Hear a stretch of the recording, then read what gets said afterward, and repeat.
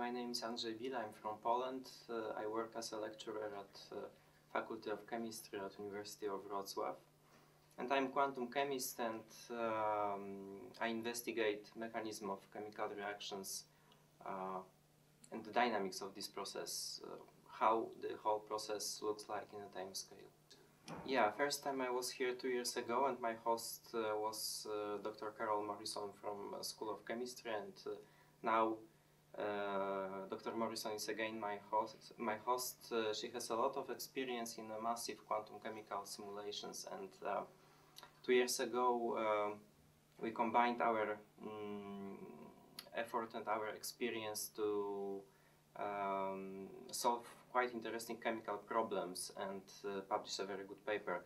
And uh, it was devoted. We, we tried to understand how the ozone molecule uh, behave on the surface of fullerene, and we try to explain some uh, unexpected experimental findings.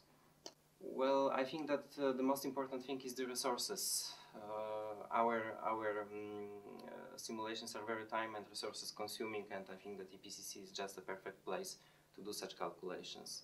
And in Poland, I don't have an access to similar similar resources, so this is a big advantage of, of my visit here. In fact, a friend of mine uh, was here, and uh, also Dr. Morrison was his supervisor, so he convinced me to apply for a visit and for collaboration with here. I think that the most important thing is the, the well the collaboration with Dr. Morrison, but uh, also um, uh, I gained a lot of experience and and uh, mm, I have learned a lot for, from her, and it's important for my for my uh, investigations but uh, I just also like uh, Edinburgh and, and this place.